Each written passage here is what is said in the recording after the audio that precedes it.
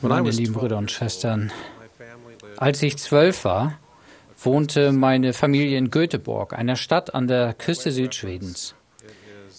Wir, Das ist übrigens auch der Geburtsort von unserem lieben Bruder Malm, der in diesem Jahr verstorben ist. Und wir sind so dankbar für ihn, für sein großartiges Beispiel, für seine hervorragende Familie. Und wir erflehen 50 years den reichen Segen Gottes auf sie herab. Wir besuchten die Versammlung der Kirche dort in einem großen, umgebauten Familienhaus.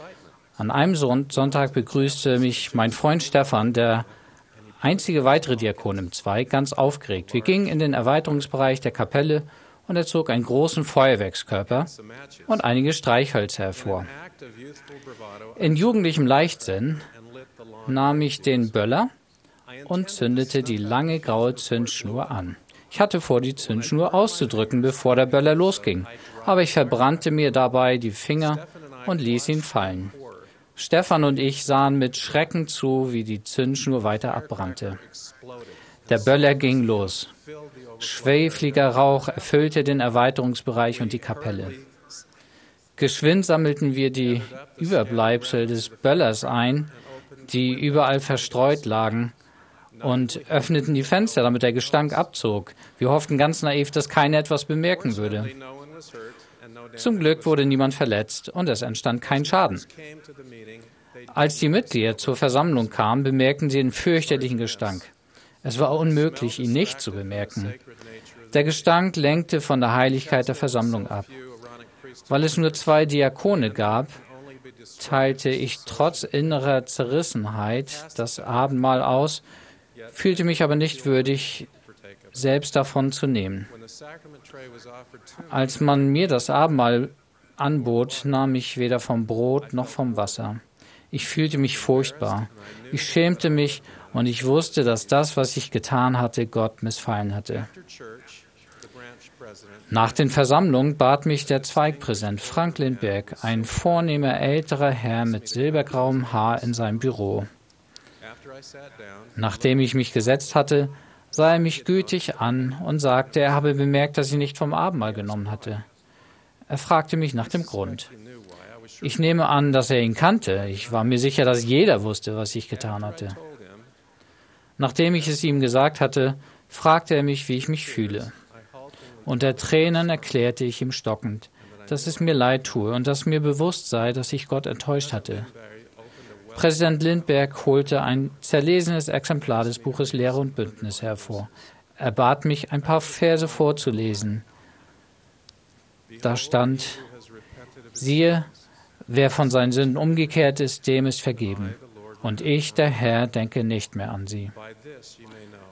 Ob jemand von seinen Sünden umkehrt, könnt ihr darin erkennen. Siehe, er wird sie bekennen und von ihnen lassen. Ich werde nie Präsident Lindbergs mitfühlendes Lächeln vergessen, als ich nach dem Lesen aufblickte. Bewegt erklärte er mir, er habe den Eindruck, es sei in Ordnung, wenn ich von nun an wieder vom Abendmahl nehme. Als ich sein Büro verließ, verspürte ich unbeschreibliche Freude. Diese Freude ist eines der Ergebnisse, die unweigerlich mit der Umkehr einhergehen. Das griechische Wort für Umkehr bedeutet im Nachhinein erkennen und impliziert Veränderung. Das schwedische Wort ist omvend, was einfach umkehren bedeutet. Der christliche Schriftsteller C.S. Lewis beschrieb die Notwendigkeit von Veränderung und wie man dabei vorgehen sollte. Zur Umkehr gehört, dass man wieder auf den richtigen Weg gebracht wird, so Lewis. Eine falsche Berechnung kann korrigiert werden, aber nur dadurch, dass man so weit zurückgeht, bis man den Fehler findet und dann ab dem Punkt nochmal von fort anfängt. Man kann die Berechnung nicht einfach fortführen. Unser Verhalten zu ändern und auf den richtigen Weg zurückzukehren sind ein Teil der Umkehr, aber nicht alles. Zur wahren Umkehr gehört auch, dass wir unser Herz und unseren Willen Gott zuwenden und der Sünde entsagen. Laut Ezechiel bedeutet umkehren, man gibt sein sündhaftes Leben auf, handelt nach Recht und Gerechtigkeit, gibt das Pfand zurück, richtet sich nach den Gesetzen, die zum Leben führen und tut kein Unrecht mehr. Doch selbst diese Beschreibung ist noch unvollständig. Daran wird die Macht, die Umkehr erst ermöglicht, das Sühnopfer des Erretters nämlich, nicht deutlich. Wahre Umkehr muss Glauben an den Herrn Jesus Christus umfassen. Glauben daran, dass er uns ändern kann. Glauben daran, dass er uns vergeben kann. Und glauben daran, dass er uns dabei hilft, weitere Fehler zu vermeiden. Solcher Glaube lässt das Sühnopfer in unserem Leben wirksam werden. Wenn wir etwas mit der Hilfe des Heilands im Nachhinein erkennen und umkehren, können wir Hoffnung auf seine Verheißungen und die Freude der Vergebung spüren. Ohne den Erlöser verpuffen die der Umkehr innewohnende Hoffnung und Freude, und die Umkehr selbst wäre lediglich eine klägliche Verhaltensänderung. Aber durch Glauben an den Herrn bekehren wir uns und erkennen seine Fähigkeit und Bereitschaft, Sünde zu vergeben. Präsident Boyd K. Packer bekräftigte die hoffnungsvollen Verheißungen, die mit der Umkehr einhergehen, im April 2015 bei seiner letzten Generalkonferenz. Er beschrieb die heilende Macht des Sühnopfers meiner Meinung nach mit der Weisheit, die er während eines halben Jahrhunderts als Apostel erlangt hatte. Er sagte, das Sühnopfer hinterlässt keine Spuren. Was ganz gemacht wurde, ist ganz. Es heilt einfach. Und was geheilt wurde, das ist auch Heil. Er sagte außerdem, das Sühnopfer, das auf uns alle Anspruch erheben kann, hinterlässt keine Narben. Das bedeutet, was auch immer wir getan haben, wo wir gewesen sein mögen oder wie etwas geschehen ist, wenn wir wahrhaft umkehren, wird der Herr dafür sühnen. Das hat er versprochen. Und mit seiner Sühne ist die Angelegenheit erledigt. Durch das Sühnopfer kann jeder Makel behoben werden, unabhängig davon, wie schwerwiegend der Fehler war, wie lange wir ihn begangen haben oder wie viele Male. Die Reichweite des Sühnopfers Jesu Christi ist unbegrenzt an Breite und Tiefe, aber es wird uns nie aufgezwungen. Der Prophet Lehi hat erklärt, nachdem wir genügend unterwiesen wurden, um gut von böse zu unterscheiden, sind wir frei, um Freiheit und ewiges Leben zu wählen durch den großen Mittler für alle Menschen oder um Gefangenschaft und Tod zu wählen. Mit anderen Worten, Umkehr ist eine Entscheidung. Wir können uns für etwas anderes entscheiden und manchmal tun wir das auch. Solche Entscheidungen mögen nicht wirklich falsch erscheinen, aber sie halten uns davon ab, aufrichtige Reue zu entwickeln und verhindern damit unser Bestreben, wahrhaft umzukehren. Wir können zum Beispiel anderen die Schuld geben. Damals als Zwölfjähriger in Göteborg hätte ich Stefan die Schuld geben können. Schließlich hatte er den Böller und die Streichhölzer mit zur Kirche gebracht. Wenn wir allerdings anderen die Schuld geben, ganz gleich wie gerechtfertigt das sein mag, suchen wir Ausreden für unser Verhalten. Damit weisen wir anderen die Verantwortung für unsere Taten zu. Wenn wir die Verantwortung von uns wegschieben, verringern wir die Notwendigkeit und unsere Fähigkeit zu handeln. Wir machen uns zu unglückseligen Opfern, anstatt zu freien Menschen, die fähig sind, für sich selbst zu handeln. Auch das Herunterspielen unserer Fehler erschwert die Umkehr. Von dem Böller in Göteborg wurde niemand verletzt. Es gab keinen bleibenden Schaden und die Versammlung fand trotzdem statt. Man hätte leicht sagen können, es gäbe doch gar keinen Grund zur Umkehr. Aber wenn wir unsere Fehler herunterspielen, selbst wenn die Konsequenzen nicht sofort erkennbar sind, nimmt uns das die Motivation, uns zu ändern. Mit dieser Denkweise können wir nicht erkennen, dass unsere Fehler und Sünden ewige Konsequenzen nach sich ziehen. Ein anderer Gedanke, der uns in den Sinn kommen mag, ist der, dass unsere Sünden unbedeutend seien, weil Gott uns ja ohnehin liebt, ganz gleich, was wir tun. Wir mögen versucht sein, das zu glauben, was der Betrüger Nehor dem Volk Zarahemla weismachen wollte, nämlich alle Menschen würden am letzten Tag errettet werden und sie brauchten sich nicht zu fürchten und nicht zu zittern, und am Ende würden alle Menschen ewiges Leben haben. Doch dieser verlockende Gedanke ist falsch. Gott liebt uns, natürlich. Aber was wir tun, ist sehr wohl von Bedeutung für ihn. Er hat uns klare Anweisungen gegeben, wie wir uns verhalten sollen. Wir bezeichnen diese als Gebote. Seine Zustimmung und unser ewiges Leben hängen von unserem Verhalten ab, und dazu gehört auch unsere Bereitschaft, uns demütig um wahre Umkehr zu bemühen. Wir umgehen wahre Umkehr auch, wenn wir Gott von seinen Geboten trennen. Wenn das Abendmahl nicht heilig wäre, wäre es ganz gleich, ob der Gestank des Böllers bei der Abendmahlsversammlung damals in Göteborg ein Störfaktor war. Wir sollten uns aber vorsehen und sündiges Verhalten nicht abtun. Das geschieht, wenn wir Gott als Urheber der Gebote untergraben oder verwerfen.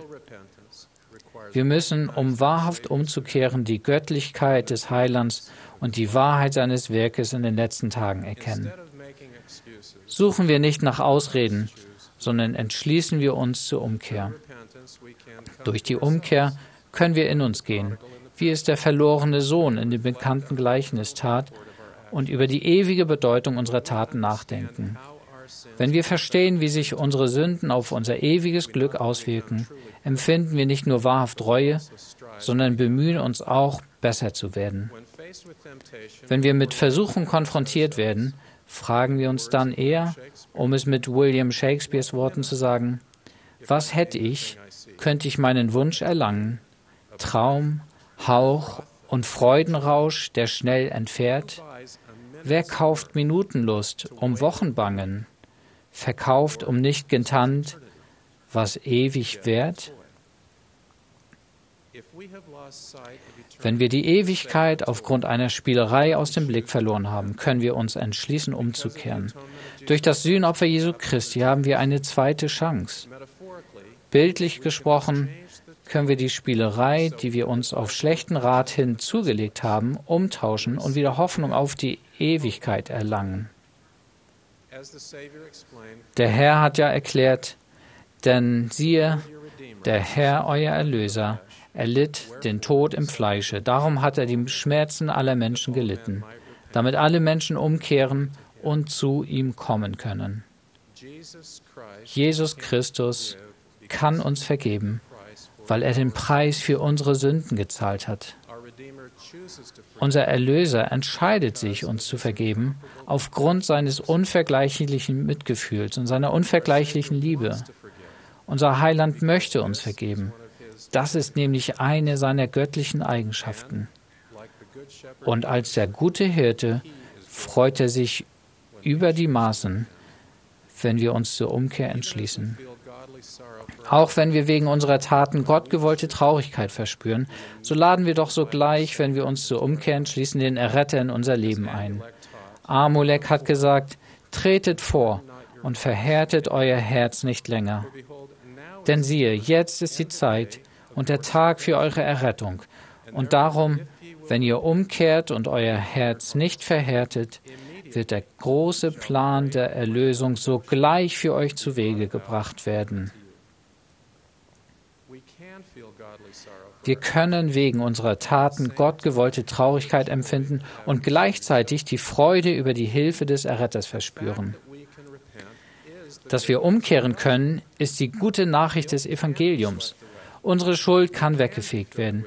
Wir können von Freude erfüllt werden, Vergebung für unsere Sünden empfangen und Frieden im Gewissen haben. Wir können von der Hoffnungslosigkeit, die mit Sünde einhergeht, und der Knechtschaft von Sünde befreit werden. Wir können mit dem wunderbaren Licht Gottes erfüllt werden und leiden keinen Schmerz mehr.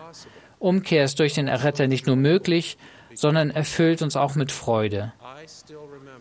Ich kann mich noch an die Gefühle erinnern, die mich im Büro des Zweigpräsidenten nach der Sache mit dem Böller überkamen.